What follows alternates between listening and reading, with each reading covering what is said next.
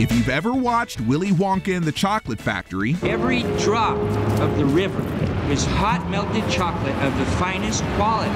You've probably dreamed of one day setting foot inside a candy factory. Well, there are many working chocolate factories today in the US that offer free or low cost tours. Here are three chocolate factories you can visit across America starting with Theo Chocolate in Seattle, Washington. We are Theo Chocolate. We're the first certified organic, fair trade, farm to bar chocolate company in the United States. The Theo Chocolate Factory welcomes over 60,000 visitors a year. They pride themselves on their ethical farming practices and fair wages. Our hope is that people recognize the hard work that goes into this beautiful product that is chocolate. Tickets for the public factory experience are currently on hold due to local COVID regulations, but you can sign sign up for a virtual class or tasting and keep tabs on when tours resume at theochocolate.com.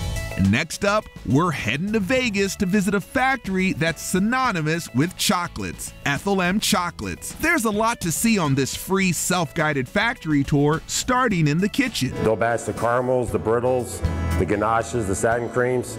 They'll get moved to the process area where it get covered with chocolate, and then it'll go out to the packing area where it'll actually get packed into one of our beautiful boxes. Try out different treats during a tasting experience or take a walk through the cactus garden while you enjoy a cup of hot cocoa.